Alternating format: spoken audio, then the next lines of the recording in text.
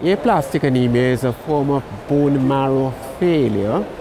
You know that all blood cells are produced in the bone marrow, and there's this immune condition that could develop where immune cells called T cells could destroy what are called the stem cells in the bone marrow and therefore remove the blood cell making capacity.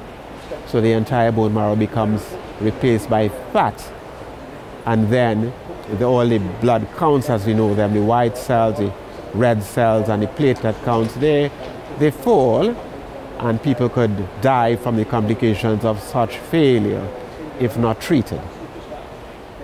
Historically, the treatment of uh, aplastic anemia has been one of them, it could be cured by having a stem cell or what used to be called a bone marrow transplant from a, a donor who is one's full sibling and has the same tissue type.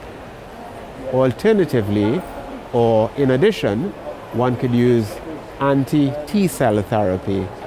The drug is called antithymocyte globulin combined with cyclosporin, which is a tablet. And most people, like 80% of people, respond to these treatments. Because these treatments are not widely available in the developing world, the literature on the treatment of aplastic anemia in the developing world is, is sparse. At our hospital in Trinidad and Tobago, the Eric Williams Medical Sciences Complex, we saw eight cases of aplastic anemia in a period of two years, which is far above the global incidence because it worked out about 8.9 per million of population and the global incidence is about um, between two and three. But we think it might just have been a, a spike for some reason.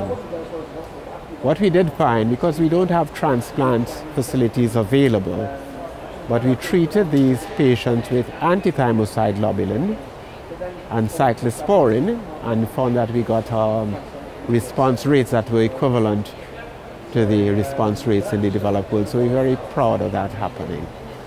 And because of that, we were able to negotiate for the drug antithymocyte globulin to be introduced on the national formulary, which happened last year.